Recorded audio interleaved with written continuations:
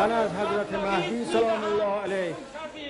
به خدا و یاری پروردگار و همت برادران مسلمان این امید به شما می‌دهیم امام که امکان ندارد این کفار بتوانند در سرزمین اسلام ایران